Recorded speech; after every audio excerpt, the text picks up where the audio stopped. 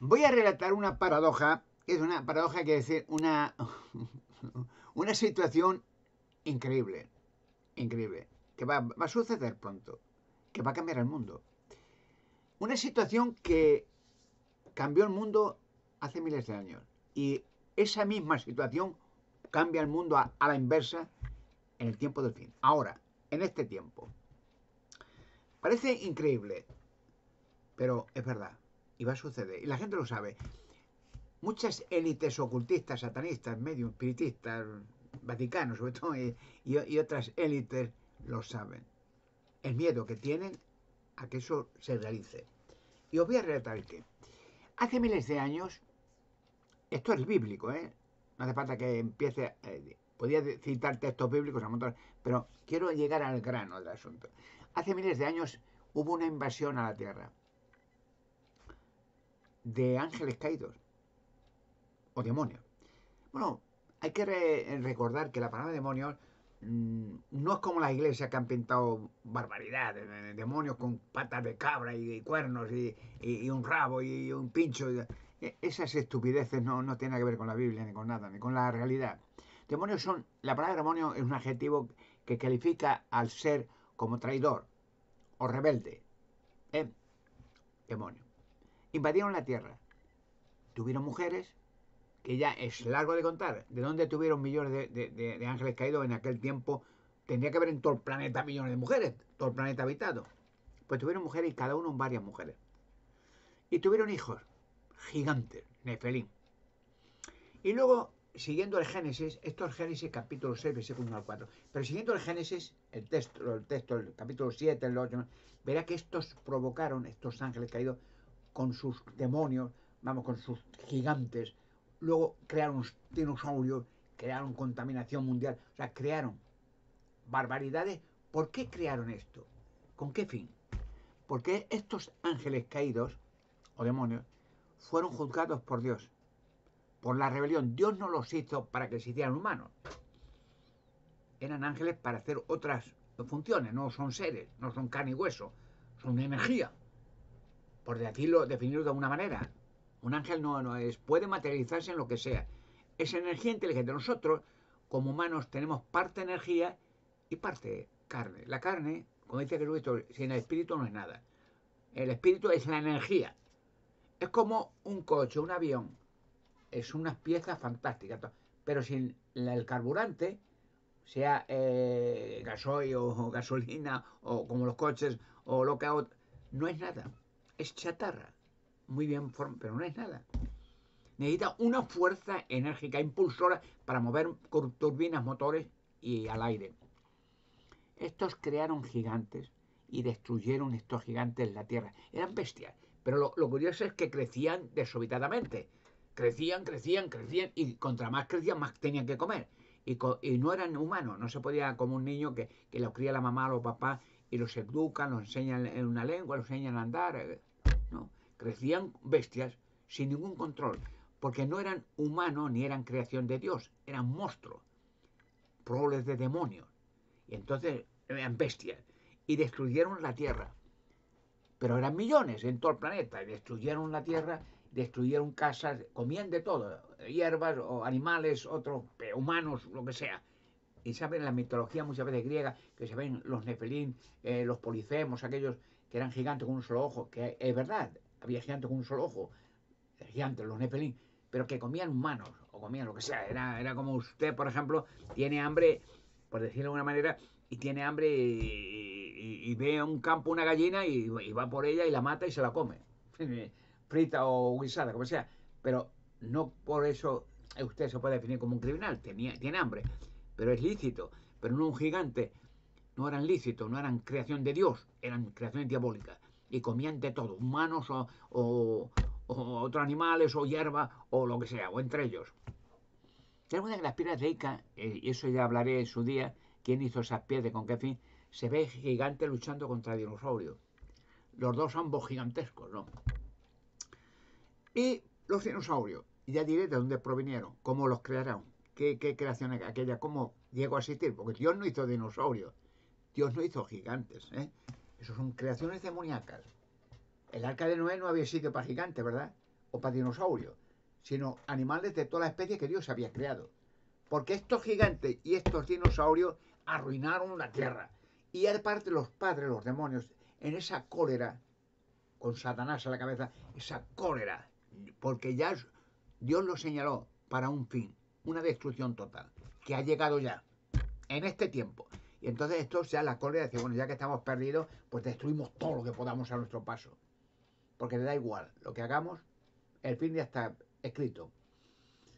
Bueno, pues al fin de cuentas, el diluvio de Noé tuvo que intervenir Dios por un diluvio. Mucha gente podía pensar, bueno, y un diluvio es lógico, ¿no? Podía pensar, bueno, ¿y por qué Dios no puede hacer directamente eliminar a los gigantes? Podía hacerlo, lo hizo con muchos. Los petrificó incluso. ¿Y por qué no con los padres, los demonios? ¿Y por qué no lo hará? Lo hará y lo está haciendo. ¿Y por qué no los humanos malvados? Había gente que, a la mujer le gustaba, que mujeres que del futuro encima al pasado. Millones que desaparecen que no dicen nada a los medios. De toda la tierra desaparecen cada año millones de mujeres, niños y niñas y los medios silencio. ¿No le parece raro? ¿No le parece raro que ningún medio de comunicación jamás diga nada ni palabra mención? ¿Dónde están los esqueletos de gigantes que han aparecido en toda la tierra? Y siguen apareciendo. ¿Por qué los esconden? ¿Por qué lo prohíben? No dicen no piensa la gente. ¿Por qué? ¿Qué tiene que haber detrás? ¿Quién está detrás pagando mucho dinero para que eso se silencie? Bueno, y los padres crearon experimentos, que ya diré con todo lujo de detalles qué experimentos, y contaminaron el planeta. Y solamente una aluvión, agua de mar, agua salada, que lo hace, podía, una, una, una, el diluvio no es una invasión, digamos, de lluvias, mezclando el agua del mar con las aguas de las nubes, que Dios hizo caer, a decir, una posibilidad que los mares invadieran los continentes y apagaran parte de la contaminación radioactiva. Así fue. Pero no solamente una invasión y luego ya está, sino que duró cinco meses. El agua de mar dice que cubría las altas montañas hasta seis metros. Imagínense el mar que todo era mar. Solamente se vería el arca de Noé flotando con animales, aves que Dios había escogido y Noé, ocho personas, su esposa, tres hijos y tres hijas. De, de ahí descendemos, a raíz de Noé, la humanidad entera tenemos que dar gracias a Noé por haber sido tan fiel y haber hecho caso a Dios, haber hecho el arca, que duró muchísimos años, y haber predicado a la gente de que si no cambiaban, Dios los eliminaría. Y no cambiaron, se burlaban de Noé. Luego, cuando empezó el diluvio, ya no se empezaron a burlar. Ya, ya gritaron, por favor. Pero la puerta del arca estaba cerrada. Dice la Biblia que un ángel de Dios cerró la puerta, que Noé no la abriera. Era imperfecto, podía oír los gritos. No, no. Se hicieron burlas, no hicieron nada se cachondeaban, le gustaba cómo actuaban los demonios, el sadismo aquel, y hacían cosas maravillosas, como un circo, y atrayendo a mujeres y teniendo gigantes con ellos, y le daba igual. Bueno, ahora el punto. Terminó el diluvio, bajaron las aguas y empezamos la, la población humana a seguir adelante. Pero los demonios siguieron, aunque muchos encerrados en hoyos de esa oscuridad y otros libres siguieron su obra. Ya no pueden destruir como antiguamente la tierra, no pueden destruir porque ya su poder ha disminuido mucho. Ya diré con todos los detalles por qué, de dónde querían poder, por qué se eliminó ese poder. Todos son detalles que hay que hacerlos uno por uno en medios de televisión para que la gente lo vea. Para que la gente vea, todo el mundo conozca la verdad y se libere la humanidad. Bueno, el tema. Hoy en día, he dicho al principio, estos gigantes estos dinosaurios y estos cuerpos de demonio y tal, bueno, muchos de ellos los cuerpos, porque los, los ángeles no tienen cuerpo, pero se hicieron un cuerpo materializado, digamos como un robot de carne y hueso, por decirlo más, se metían dentro la energía y movía el cuerpo para hacer relaciones sexuales, para hacer experimentos, para hacer maldad y quemar lo que fuera. Y siguen haciéndolo. Pero ahora el punto. ¿Y qué, qué pasó con estos gigantes? No todos los aguaron no todo, porque con astucia Dios permitió que estos ángeles malvados eh, reservaran en rocas sus propios cuerpos. En rocas, que era digamos, una, una urna mm, pétrea en, una insolación, para que dentro no, haya una, dos micas de, protección para que no entre ni, ni el calor, ni la humedad, ni nada, no, están muy protegidos. Y entonces metieron gigantes y metieron dinosaurios con el fin de que cuando pasara el diluvio, que sabía que iba a suceder, sabía, solamente Noé, Dios le avisó una semana antes de que empezaría el diluvio. Ya el arca estaba terminada hace años. Los demonios no le iba a hacer Dios a los demonios. Que venga el diluvio no los avisaría. Les pilló de sorpresa. Como va a pillar ahora el Armagedón de sorpresa a los mismos.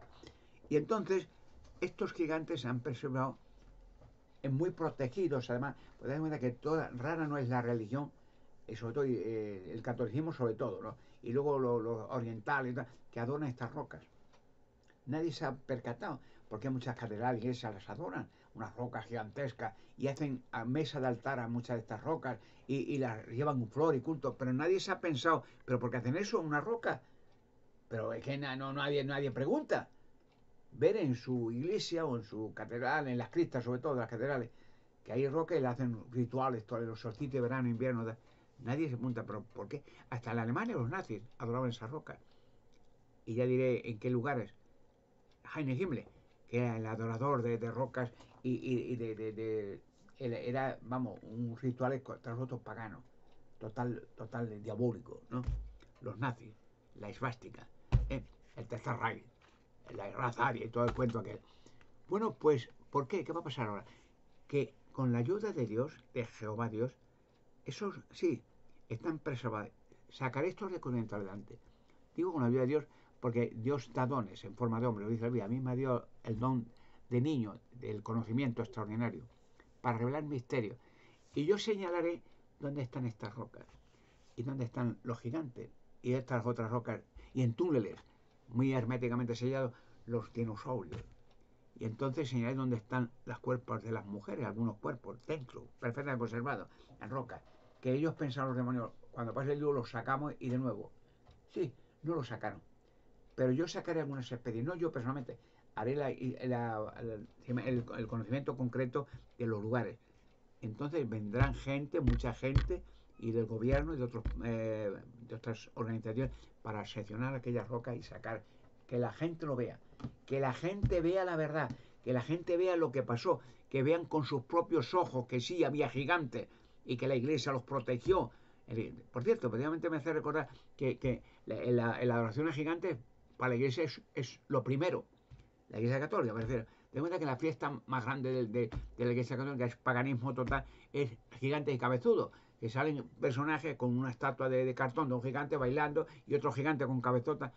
La fiesta de gigantes es la fiesta más grande. Y que el santón de los múltiples santones y santones que tiene la Iglesia Católica, que es el Cristobalón, un gigante. O sea, y las cristas catedrales llenas de rocas con gigantes, que son objeto de oración, y en muchas catedrales y en iglesias medievales también. La gente no se da cuenta. Pues estos gigantes al salir, ¿qué hará? La misma operación, pero a la inversa. En principio fue sacar estos gigantes un destrozo para toda la tierra y la creación. Se comían aves, se comían animales, sea, bestias, porque los animales eran dóciles, no tenían miedo. Dios le impuso miedo después del diluvio, para que no la gente los cazaría. Entonces la gente era vegetariana, un animal también, no cazaba un animal para comérselo, para jugar con ellos, como catitos. Pues estos gigantes, estos dinosaurios, será un destrozo constante porque la verdad ser manifiesto se le verá el plumero y la cara a muchas organizaciones que los han protegido, que los han adorado, que han hecho sacrificios de niños a estos gigantes constantemente durante siglos. ¿No sabe que cada año desaparecen millones de niños y niñas? ¿Nadie lo sabe? ¿Nadie sabe eso?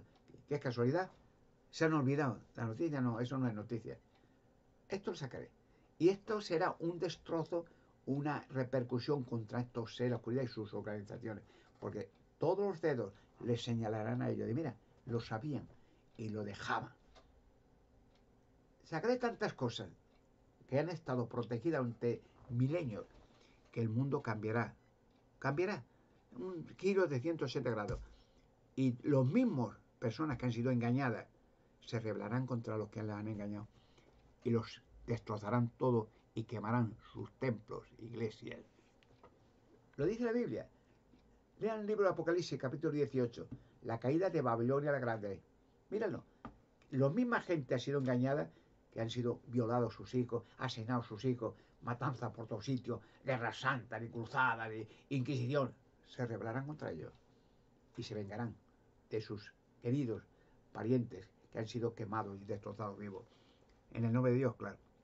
Y las mismas organizaciones satánicas se huirán, pues ya no se acaba nuestro poder ya. Hay un dicho, hay un dicho muy que va a cumplirse muy, digamos, verdadero, es una metáfora, que dice, la verdad tiene la costumbre de que tarde o temprano sale a la luz pública. Y eso es verdad. Y el mundo cambiará para bien, no para mal, porque la verdad, dijo nuestro Señor Jesucristo, el Rey de Reyes, la verdad los libertará. Y la humanidad esclavizada a guerras atroces, a dictadores, a locuras, a, a, religiones satánicas, será liberada. Y tendrá el gozo de conocer la verdad y mirar hacia la eternidad, porque estamos hechos para vivir eternamente, no para morir.